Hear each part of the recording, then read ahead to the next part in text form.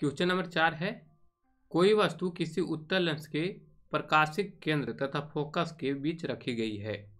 बनने वाले प्रतिबिंब का किरण आरेख खींचिए अथवा रह, कहेगा, सरल सूक्ष्मदर्शी क्या है?